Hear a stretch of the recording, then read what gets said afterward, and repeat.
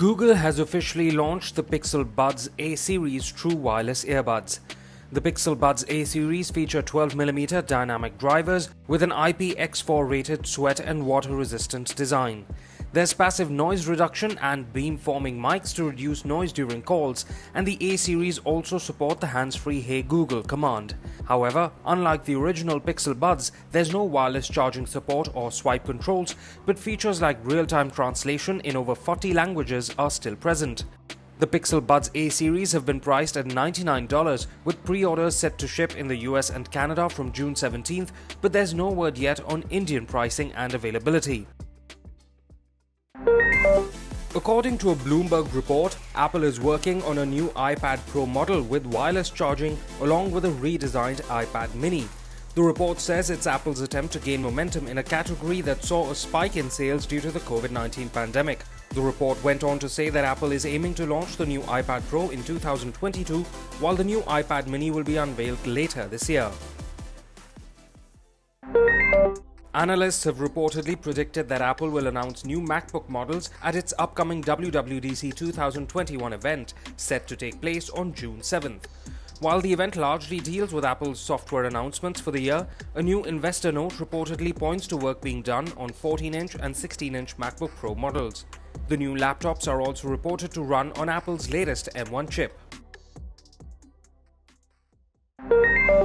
Apple's AirTag tracker is reportedly set to receive an update which will change the time period after which it plays a sound on being separated from its owner. The update is reportedly to address concerns that the device could be used to stalk someone. Moreover, Apple has also announced plans of an Android app for AirTags which will let a larger number of people detect when one of them has been separated from its owner. Reports indicate that the US Department of Justice is elevating investigations into ransomware attacks to a similar priority as terrorism.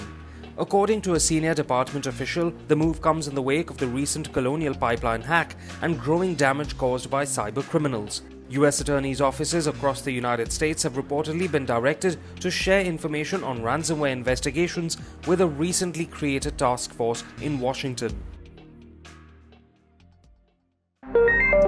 Game developer CD Projekt Red has said that Cyberpunk 2077 players have spent 600 million hours playing the game so far. Despite a controversial launch and a bug-ridden rollout, it seems players are spending a substantial amount of time on the title. The futuristic open-world game that also stars actor Keanu Reeves is available to play on all leading platforms including PCs and the latest generation Xbox and PlayStation consoles. Samsung has launched the Galaxy A22 5G smartphone in Europe. It sports a 6.6-inch 90Hz display, a 48-megapixel triple rear camera setup, and runs on an unnamed octa-core chipset. Its price starting at 249 euros for the 4GB RAM model, but Indian pricing and availability are yet to be announced.